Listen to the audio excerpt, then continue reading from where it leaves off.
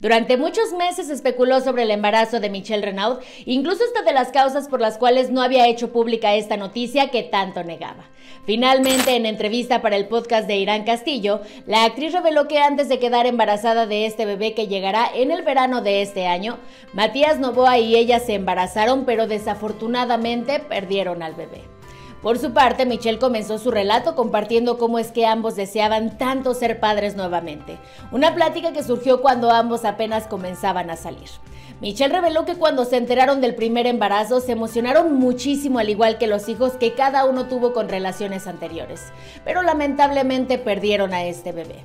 Un momento que aunque fue muy doloroso le hizo darse cuenta que quería ser madre junto al chileno Matías Novoa.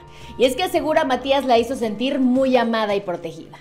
Por otro lado, la pareja al poco tiempo pudo volver a embarazarse y ahora están en espera de su llamado bebé arcoíris, el cual se dice llegará a mediados de este 2024. Y es que según revelaron en entrevista exclusiva para la revista Caras, será un niño quien llevará por nombre Milo. ¿Qué te parece? ¿Crees que esta parejita de famosos aún planea agrandar más la familia? Te leemos en los comentarios y recuerda que todo lo mejor del mundo del entretenimiento lo encuentras solamente aquí, en ella y online.